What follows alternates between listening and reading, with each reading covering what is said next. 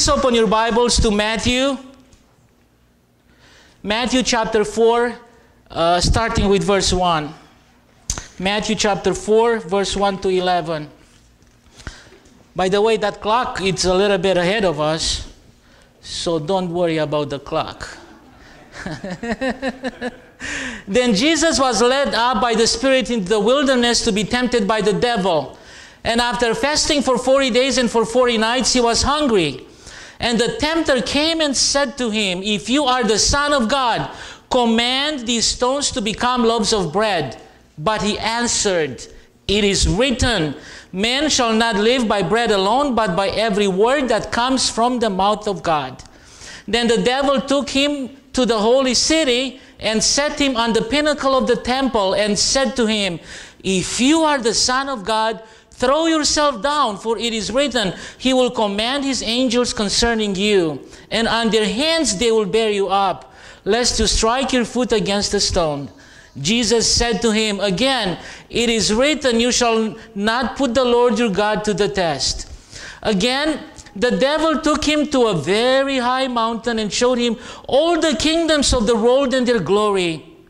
And he said to him, All this I will give you if you will fall down and worship me. Then Jesus said to him, Be gone, Satan, for it is written, You shall worship the Lord your God, and him only you shall serve. Then the devil left him, and behold, angels came and were ministering to him. Amen. God, bless your word in our hearts this morning. Speak to us. Holy Spirit, illuminate our minds so that we can understand your word. And God, give us the willingness and the desire that as we hear your word and accept your word, to be doers of your word. In Jesus' name, amen. My friends, we are continuing this morning with a series of sermons, Jesus and Your Problems. This is week number six uh, in the series of messages. We talked about worry, dealing with worry, dealing with fear, dealing with pride, dealing with guilt. Last Sunday, I preached on dealing with envy. And this morning, with God's guidance and strength, we will be talking about dealing with temptation. Dealing with temptation. From the very beginning, I want to tell you that temptation is not a sin. Temptation is not a sin. In fact, I would say that if you are being tempted, there is something good about you. Because I strongly believe that if you are on Satan's side, you are already his. He has nothing to tempt you with anymore. You are doing His will. However, if you are on God's side, if you are part of God's family, if you are a child of the King of Kings and the Lord of Lords, you will be tempted. So, just because you are tempted, that doesn't mean you have sinned. I want you to get that out there from the very beginning. So when it comes to temptation, I want to uh, give you a little bit what the, this morning what the goal of my message is. You see, every time I talk with the Lord during the week, when I prepare the messages, I have a goal in mind as a preacher. Um, most of the time, I do not tell you verbally what my goal is you know, through that message. But once in a while, I choose to reveal to you verbally what the goal of my message is. And I want to share with you very briefly, I'm not even going to charge you for this this morning, what the goal of my messages this morning. The goal of my sermon is that by the end of the service today, as we will be adjourning, going home, that we will be able to have a good understanding of three important things. Number one, my hope is that by the end of the service, we'll have a good understanding of how temptation works. Number two, my goal and hope is that by the end of the service, we'll have a good understanding of how Satan uses temptations to cause us to sin.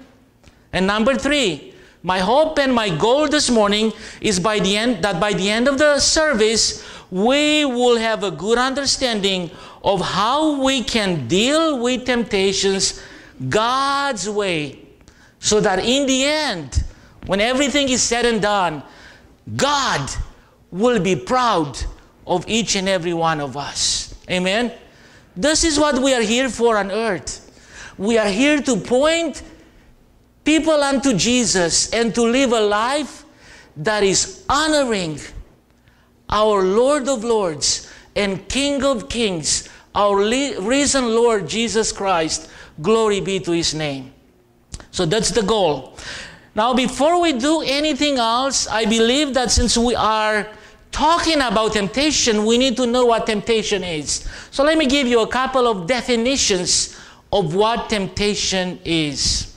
By the way, God wants us to live lives that are powerful, that are successful, that we are filled with the Holy Spirit in everything that we say and do.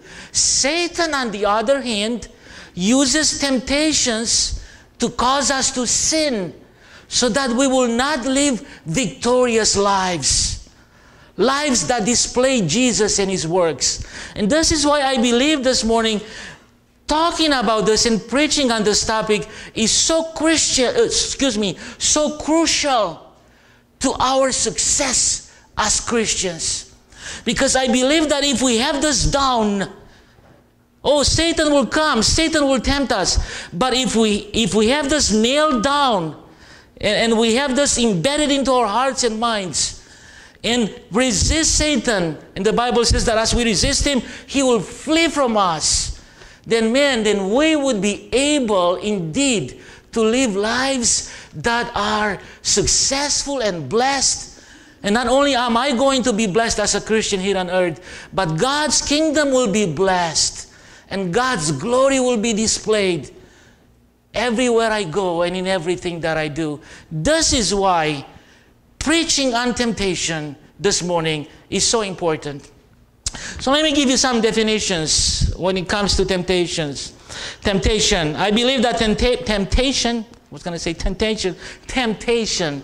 Temptation is an enticement of our natural God given desires to go beyond our God given bonds. Okay? This is what temptation is. Let me give you some examples. Eating Take, for example, the activity of eating, right? Eating is a God given desire. We all need to eat in order to survive and live. Overeating is a sin. The Bible calls that gluttony. That is stepping beyond our God given boundaries that will be falling into temptation. Let me give you another example. Um, loving, love. Loving each other is a, is a God given thing. It's throughout the Bible. Lasting after someone would be sin. That is going beyond, loving someone beyond our God given boundaries. So temptation, here is a definition, is an enticement, one of those lures, man, that Satan has into his toolboxes. You know, haven't been fishing for a long time, maybe six, seven weeks. That's a long time to me. And uh, last Monday, I had the opportunity to go with Brother Rob, you know, down in the river. Monday morning, I picked him up at 6.15 from his house. We went in the river, got there a little bit after 7 we had fun. We just put our, you know, folding chairs there and had breakfast going there from Kwik Trip and just sat there and hoping that the fish will bite. Uh, they didn't really bite with the exception of us getting one bass. But man, we, we, we were prepared. We had our bait, uh, you know. So it was up to the fish to bite or not to bite. You know? So this is exactly what temptation is. It is an enticement. It is one of those lures, you know, from our natural God-given desires to go beyond, to exceed our God-given boundaries. Let me give you a couple more definitions. Temptations is basically an enticement to disobey God. Let's call it as it is. To rebel against Him and to have it our way. People call it a mistake. Oh, I made a mistake again. But God calls it sin. S I N. Amen, church? So, temptation, again, is basically an enticement to disobey God, to go against God, to rebel against Him, and to have it your way. I was thinking about Channel 6 the other day, Channel 6 News. Do you know what their motto is? It's all about you, baby. They don't say baby, but I, just put that up. yeah. You know what? It's all about you. That kind of makes you feel good, doesn't it? Oh, better watch Channel 6. It's all about me. Really? Is it all about me? I don't think so. A Burger King, or I don't know what other, it says, um, have it your way. Is it Burger King or something? Yeah, yeah see, uh, Burger King says, you have it your way. Oh, I better go to Burger King because, you know, it's, it's about me. I'm going to have it my way. Okay? So, this is what, my friends, temptation is. Uh, looking at the passage this morning, Matthew chapter 4, and have your Bibles open, we'll be digging right in. I want you to know that in Matthew chapter 4, Satan tempted Jesus in three specific ways. And I want to show you what these ways are from the Bible. We'll take them one by one, each one of these three temptations, and learn from them. First of all, I will say, according to our passage, that Satan tempted Jesus to turn stones into bread. Satan tempted Jesus to cast himself off the temple. And then Satan tempted Jesus to worship him. Okay? So we'll be taking these one by one and learn this morning about temptation. Temptation number one turn the stone into bread. Please look with me in the Word of God. Matthew chapter 4. I'm going to start reading with verse 1 down to verse 4. Then Jesus was led up by the Spirit into the wilderness to be tempted by the devil. Now pay attention to verse 2. And after fasting for 40 days and for 40 nights, he was hungry. And the tempter came and said to him, If you are the Son of God, command these stones to become loaves of bread. And now pay attention to verse 4. But he answered, It is written, Men shall not live by bread alone, but by every word that comes from the mouth of God. So here is what we have in this instance with this event. Jesus was in the wilderness for 40 days and he was hungry. Now, he was the Son of God, he was divine, 100% God. But at the same time, he had a human nature. Not a sinful human nature, but a human nature just like us in the sense that he ate like we did, and he slept like we did, and he walked like we did, like we do. Okay? So Jesus is in the wilderness for 40 days. He's hungry. And notice, please, how Satan jumped on the circumstance to tempt Jesus. I have a few questions for you. What was wrong with the suggestion that Satan had to Christ? If you are the Son of God, command the stone to become bread. Think about this with me. What was wrong with it? Would it have been okay? Here is another question. Would it have been okay for Jesus to make bread? After all, you know, turn a few more pages and you'll see a, a miracle that he performed on a particular evening when he fed thousands of people that day. Why was this a temptation? Is there anything sinful about bread? Can I get an answer from that? No. Here is another question Was Jesus unable to make bread from stones that day? Was he unable to? No, absolutely not. What was wrong with us? Here is what it was wrong with us. And it's wrong with every temptation, uh, just about. Pay attention, please. In doing so that day, in taking that stone and turning it into bread, on that particular day, in that particular circumstance, my friends, Jesus, by doing so, he would have chosen doing the will of the devil instead of doing the will of God. Can God get an amen from that? And I want us to learn from here a beautiful lesson. And here is the lesson. Very often, Satan tempts us exactly the same way. Satan often takes advantage of our circumstances and he jumps on them right away, wanting to take advantage of us. He takes our needs, basic needs, God given needs, and tempts us, listen to this please, and tempts us to meet those needs in wrong ways, in illegitimate ways. Now, listen to this. And you may feel justified, you know, by your need to give in to that temptation.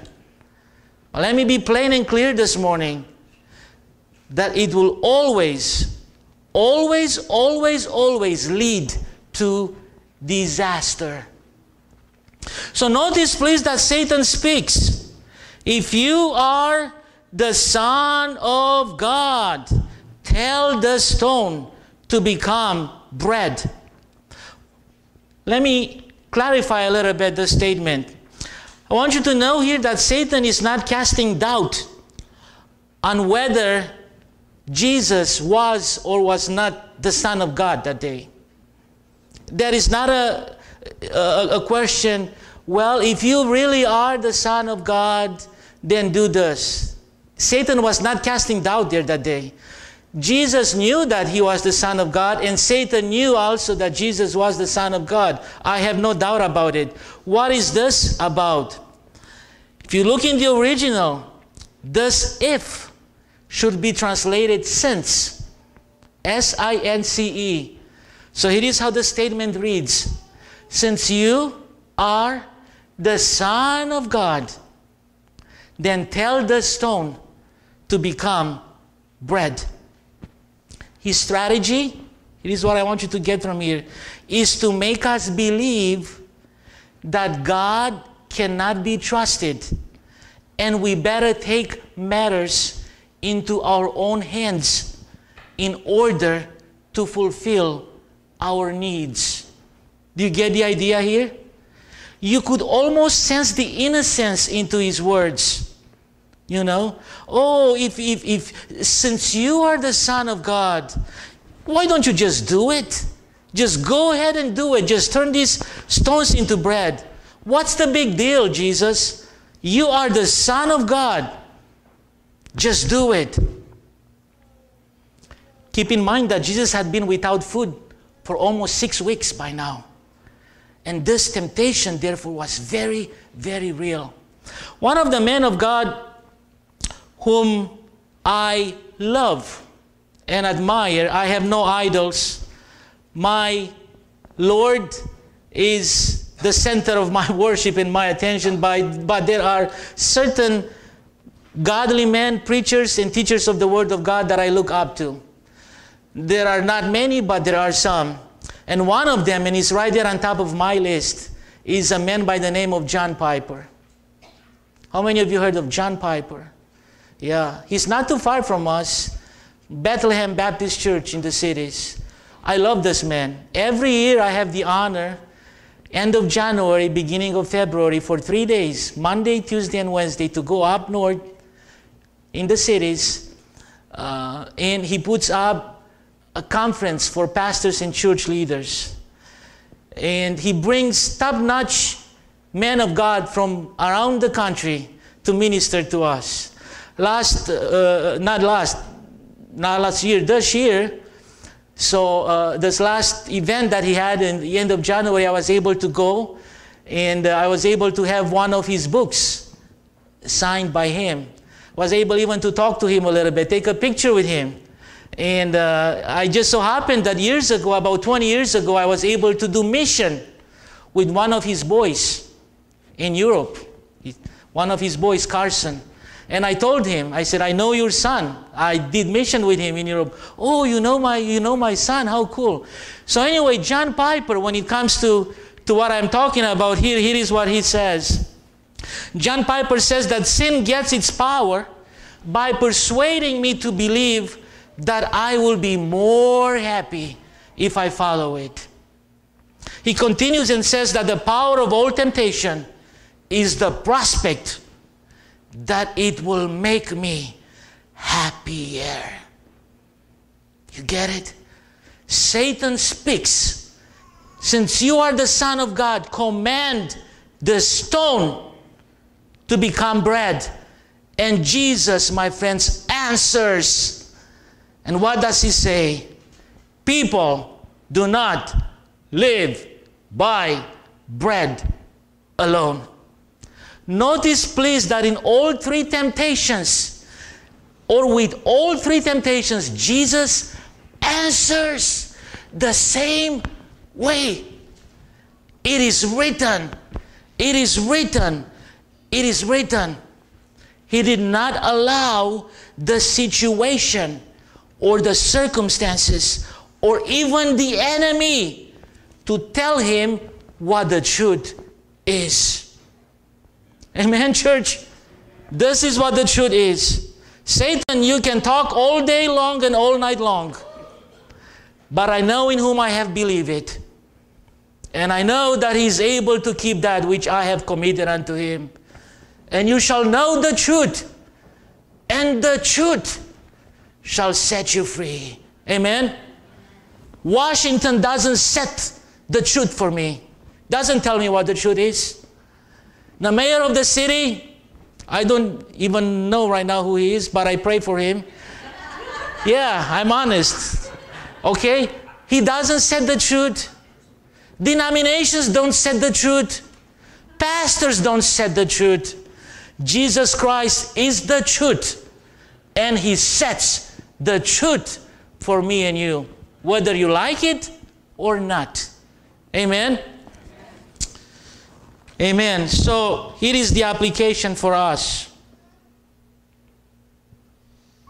Here is the application for us. We will never probably be tempted to turn stones into bread.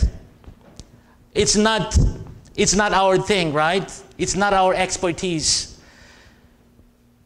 Instead, the devil, the devil's ploy is to make us believe that if we want something done, this is the, uh, the lesson for us here this morning.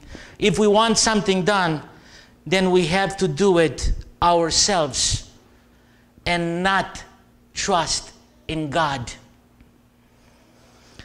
And exactly true, exactly the opposite is what the truth is. God wants us to trust His way. God wants us to trust His plan. God wants us to trust His purposes. God wants us to trust His timing.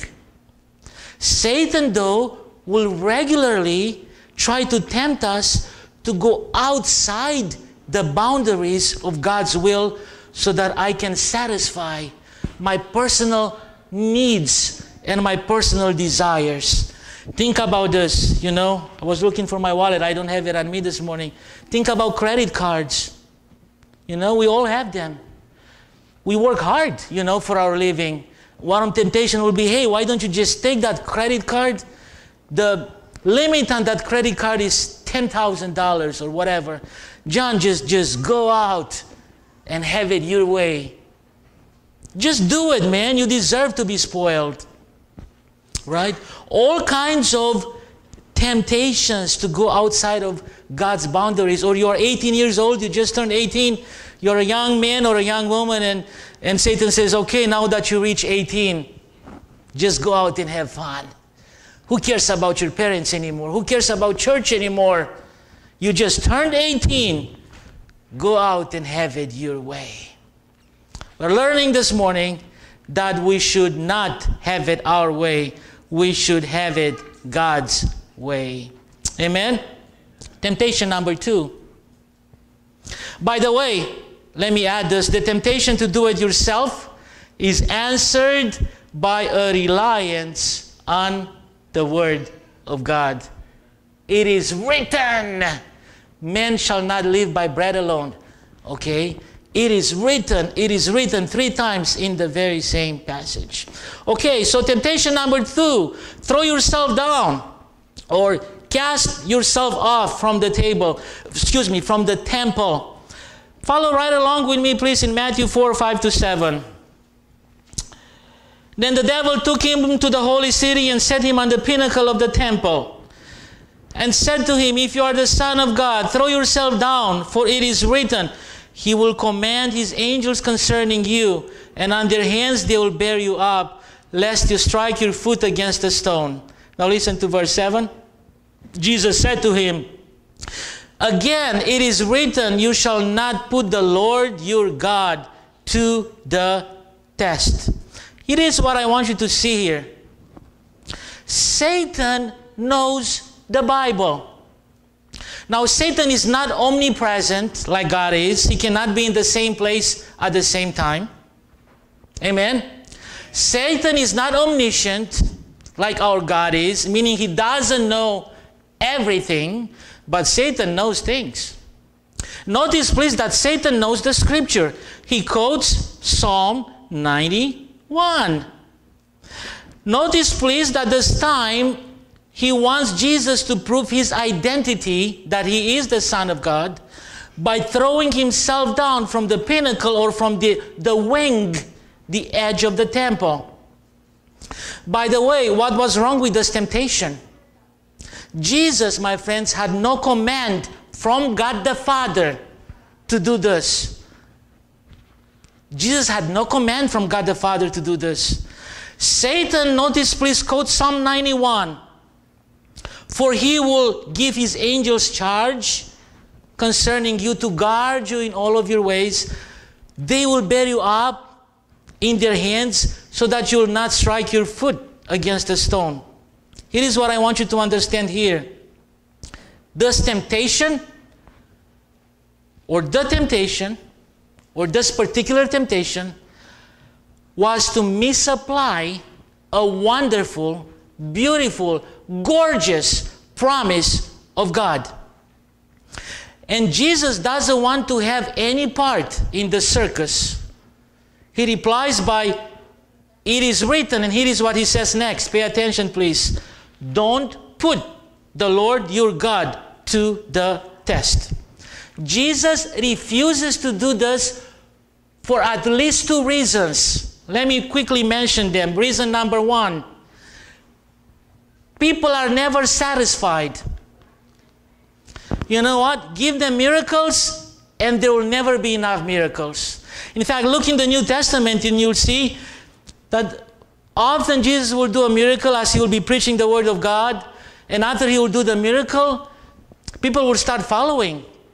I mean, who doesn't want to follow a king who can feed thousands of people in a day. But then soon after that, Jesus preaches and teaches denying yourself. If you want to be my follower, you should pick up the cross and follow me. And all of a sudden, the crowds were gone. they were not there anymore. So Jesus refuses to do this because he knows deep down in, in his heart that people are never satisfied. They will always want more signs, more miracles, one more show. And to have maintained his influence over the people by the use of miracles, Jesus, again, would have had to produce greater signs, greater miracles. This is called sensationalism. Let me give you my word for it circus. Amen? Circus. Watch it. Be careful. Be aware of it. So Jesus refuses. And the second reason why I believe Jesus refuses to do this is because, notice please how he responds to Satan don't put the Lord your God to the test. The second reason why Jesus refuses to do so, because to test God is to doubt God. And to doubt God is not to trust God. And not to trust God, my friends, of course, is sin. And this is exactly what Satan wanted Jesus to do. Let me explain more. Satan was trying to get Jesus to manipulate God's word by putting himself in danger and forcing the Father to do a miracle that day in order to keep his promise that he, that he will take care of his son. And again, this is called sensationalism. It's, it's what I like to call masked unbelief. This is not faith. The devil wants us also to test God by saying, God, I am going to believe in you if you and then you fill in the blank. In this case was to catch Christ so that nothing will happen to him. And this is how Satan works in our lives too if we are not careful. God, I am going to believe in you if you are going to do this. And you fill in the blank. If you're going to provide for my car payment, if you're going to give me perfect health, if you're going to help me make it to the best college that I want to get in, and this is not what God wants from us. God wants us to trust Him completely. God doesn't want us to go to Him on our own terms. God wants us to go to Him on His own terms. And He wants us to believe that He will always work, my friends, for our good, whether that involves a miracle or it does not involve a miracle. Amen? Whether I understand what God is doing or whether I don't understand what He's doing, I still need to trust Him. So the devil here is tempting Jesus to disbelieve the Father. This is a spiritual attack. And Jesus doesn't go for it. No, no. God the Father, He will take care of me. It is written. Okay? So this reminds me and you this morning that we need to be grounded. We need to have our roots deep down in the promises of God. I'm reminded of that verse from the New Testament in which Apostle Paul writes and says, Be steadfast, immovable. Don't fall for Satan's tricks and schemes. Be steadfast, immovable, always abounding in the work of the Lord. Do your part, knowing that your labor, your sweat, your allegiance to God and to His kingdom is not in vain. Amen. One more thing. It's only 11:30. I will take 7 more minutes. That clock is ahead. Okay. Temptation. Temptation number 3. Worship me. Uh, verses 8 to 10, Matthew chapter 4. Again, the devil took him to a very high mountain and showed him all the kingdoms of the world and their glory. And he said to him, All of these I will give you if you will fall down and worship me. Pay attention to verse 10. Then Jesus said to him, Be gone, Satan, for it is written, You shall worship the Lord your God, and him only you shall serve. By the way, this promise includes a lie. It is what I want you to understand here. Satan claims, according to what we read, that he has been given ownership over the vast domain that he was showing Christ that day. Not only that, but this is a lie because Satan claims that he has the right to give domain of his ownership to whomever to whomever he wishes. Now, let me uh, explain this. Actually, Satan does have power as an enemy of God.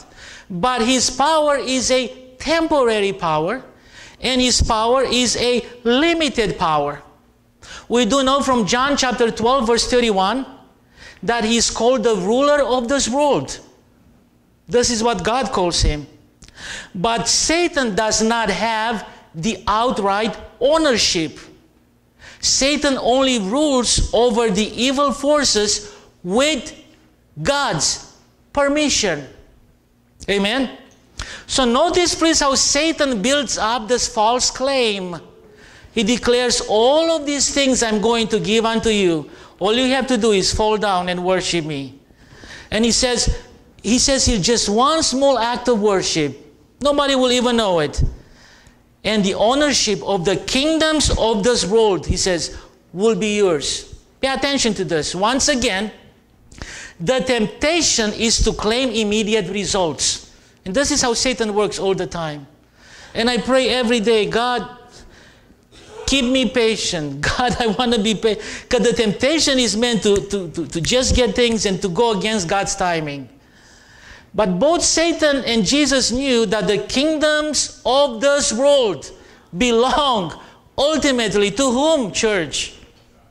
To God and to Christ his Son, who in the end will be the King of kings and the Lord of lords, and will take us all home, all of us who have put our trust and faith in him. Amen?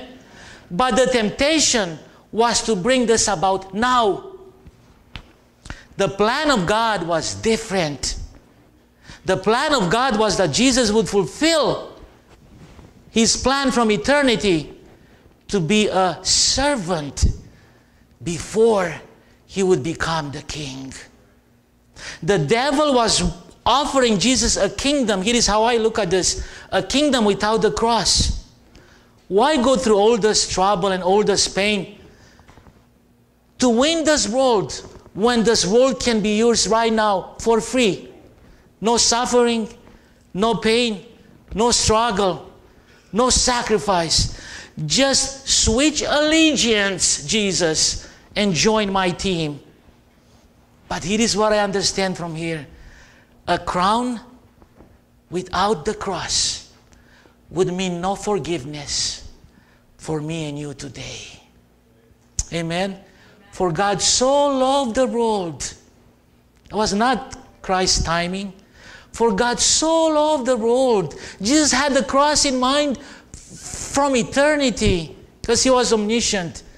For God so loved the world that he gave his only begotten Son, that whosoever believeth in him shall not perish but have everlasting life. That was the plan, church. That was the mission. And Jesus is responding back to Satan and says, Away from me, it is written, Worship the Lord your God and serve him only.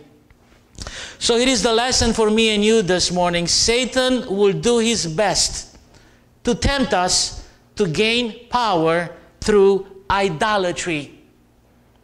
This is why we do not worship Mary in this church. We admire Mary, we love Mary, Christ's mother. We think that she was God's instrument. What a great woman she was. But we do not worship Mary. In fact, the wise men, when they remember when they brought gifts to, to Christ, they found him in the house. They brought three particular gifts, and who did they worship? They worship the King, they worship Jesus. So we do not worship Mary, we do not worship angels, we do not worship pastors, we do not worship denominations, we do not worship the Pope. We worship the King of Kings and the Lord of Lords, Jesus Christ. Glory be to His name. When we worship other things, pay attention to this, or other people, we have misplaced our allegiance, our affections, and our will. Even though we may gain temporary power, you know, the result will be spiritual disaster. My friends, let us follow the example of Christ in worshiping God and God alone. Amen. Steps that you can take to deal with temptations wisely. I'm going to mention five or six steps. Take responsibility, number one. It is what I mean by that. You are responsible for your actions. You are responsible for what you do with your temptation. You know that expression, the devil made me do it? It's, it's kind of cute, you know, to blame it. Oh, the devil. No. You are responsible, my friend. Take responsibility. Be a man, be a woman. Step number two focus on the big picture. And here is what I mean by that. This will help you with fighting temptation. Here is what I mean by that. A temptation often offers a small picture, a small picture of the pleasures and profits of sin. But God wants you to see the big picture. When you fall into that temptation and sin, you are going to be affected. Your family might be affected. Your church will be affected. Your community will be affected. God's witness and testimony in this town will be affected. Focus on the big picture. That will help you fight it.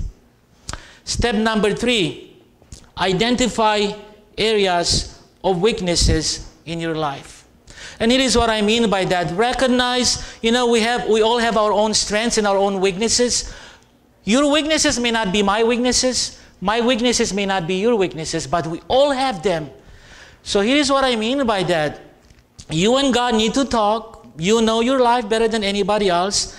You need to recognize which aspects of your life are easy targets for Satan's attacks. Identify them and stay away. For example, if computer is a temptation for you, if when you go on the computer you have the temptation to look at sites that you shouldn't look at, I suggest that you don't even go on computer. Get it out. Stay away from it. If the TV is a temptation for you, I'm not against TV, I have it in my house too. But if it is a temptation for you, stay away for it from it. Get it out of your house. It's your weak spot. If magazines are a temptation for you, be careful. If going to a to the country buffet is a temptation for you, don't even go to the country buffet. If sweets are a temptation for you, right here, be careful. Try to stay away from them. I keep telling my wife, honey, I know you love to bake. Oh, but I love sweets. And I'm afraid that many times I have more than I need to. Amen? Identify areas of weaknesses in your life. It will help you in fighting off Satan. It is another thing that you can do. Take a break. And it is what I mean by that, by that. Don't let yourself get too hungry. Don't let yourself get too angry. Don't let yourself get too lonely. Don't let yourself get too tired. That's when Satan, that's when you're weak. You know, just like our immune system is weak, and boom, right away you are hit with that virus because you're not taking your vitamins, you didn't get enough sleep. That's exactly how it is with temptation. Take a break. If you are too tired, take a break. I'm going out for a Sunday. See you guys the following Sunday. I need to spend more time with the Lord. I need to I need to get some rest. Do it. Here is another step that you can take. Make yourself accountable to a friend. I cannot emphasize this enough. Find someone whom you can trust and then contact that person when you are feeling tempted. Hey, check up on me. I'm having a bad week. I'm being tempted. It is another step, very crucial, that you can take to deal wisely with temptation. Read the Word of God. Amen. Let me say this again read the Word of God. You won't be able to defend yourself against the enemy's attacks if you don't know the Scripture. Yes? Read it, study it, memorize it. This last uh, summer, this couple of months ago, we had our vacation Bible school. And on Saturday, we had the carnival. For me, I think this was my fifth VBS. For me, this was, for me, this was the best. Because it looks like every year I'm getting more and more exposed to people. I'm getting to make more friends in the community. In this uh, Saturday, last that Saturday when we had the carnival, I was out in the parking lot mingling and talking to people, and I remember we had a canopy tent there in the back, and we had nachos and cheese. And I got my portion there, and I sat at a table along with a few other families from town, and started talking with the family that was next to me. And they opened themselves up to me and they said, Pastor John, we are just so blessed by this church. And the lady speaking to me was in her 40s, about my age. She says, Look, we go to a church here in town. By the way, I'm not going to mention the name of the church because that's not important, okay? But she told me what the church was. She says, We go to a church here in town. She says, But I've been attending VBSs and, and uh, uh, Wednesday nights, uh, uh kids, you know, ARC or whatever was before Awana. She said, I was attending that in the past. And she said, You know what, Pastor John? She said, In our church, we are not taught to memorize Bible verses. We are not trained to read the Bible. But he said, You know what? It's been many years since I, she was in her 40s, since I attended VBS here at your church and ARCS. But I still remember the verses that they taught us in VBS 30 or 40 years ago. You know what I said? Thank you, Jesus. Praise the Lord. Amen. 40 years have passed. Her church is not teaching the Bible and helping people memorize Bible verses, but she's still remembering because she came to this little church in the community, hearing the Word of God. Memorize the Bible, study it, and then one last thing is make prayer a vital part of your life. Crucial. Having fellowship and conversation with the Lord each morning strengthens you, edifies you, alerts you to Satan's attacks every day. Want to end with 1 Corinthians 10:13. Get us under your belt. Powerful verse in your arsenal to fight off Satan's attack. How about if we all say it together? No temptation has overtaken you, but such as is common to men. And God is faithful, who will not allow you to be tempted beyond what you are able, but with the temptation will provide a way to escape also, so that you would be able to endure it. Amen. Would you please stand? as we close with a song.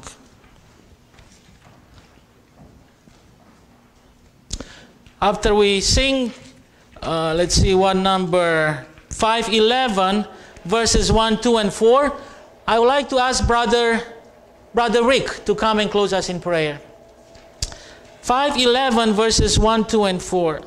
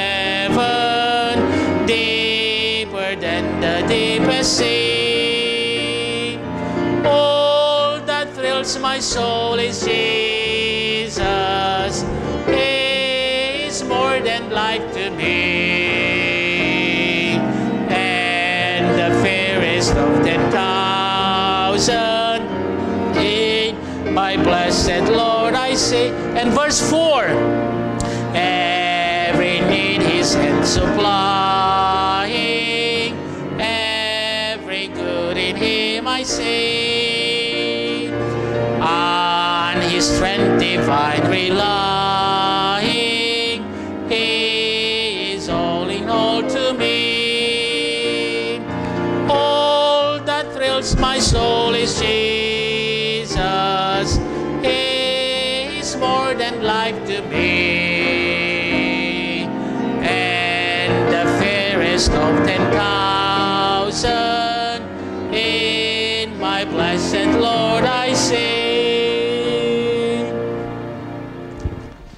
I'd just like to thank you here for coming here today, and I just thank you for John for this message and temptation. I think we all can, day to day, we're out there in this world, temptations, how it struggles us. I just think of Gene, you know, with his uh, problems he has with, Chuck. I just, other people in this church as well, you know, temptations every day. It just, it works on us, but we always come back to God and rely on Him. Amen.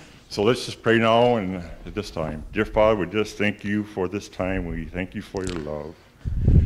We just pray that you just be with us and just make us stronger in you, Father. When temptations do come with us every day, that you would make us stronger.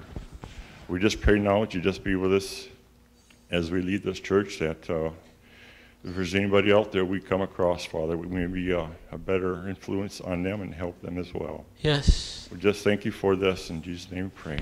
Amen. Amen.